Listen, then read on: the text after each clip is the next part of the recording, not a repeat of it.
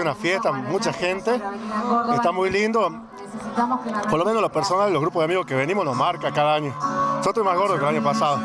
Tengo unos kilos más, entonces me hace ver como que tienes que esforzarte y cuidarte. En cambio, cada año no había maratón, uno no, no, no veía su estado. Yo veo mi estado ahora que paré una vez, el año pasado no, y creo que lo me gusta mucho que viene mucha familia, muy tranquilo, uno viene, participa, comparte.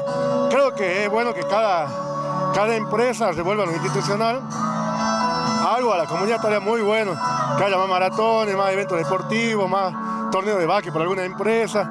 Creo que hace bueno. Yo cada año, a veces faltan un mes o dos meses, me preparo para correr. Y cada año digo, el año que viene voy a correr 10. Mis amigos, dos amigos míos vinieron a correr por primera vez y terminamos juntos y decían que sentían la emoción de que nunca habían corrido una maratón. Y creo que está bueno, que hay que inculcarlo.